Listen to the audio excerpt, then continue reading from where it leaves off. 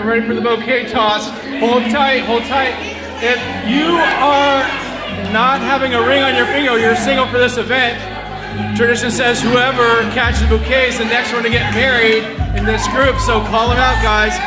Anybody else not have a ring on their finger,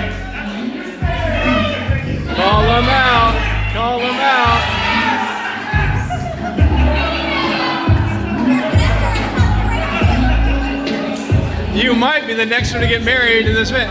All right, on the count of three. A one, a two, two and a half, three.